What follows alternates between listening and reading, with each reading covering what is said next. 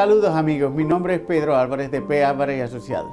Quisiéramos desearle una feliz Navidad y dicha y prosperidad en este año 2019.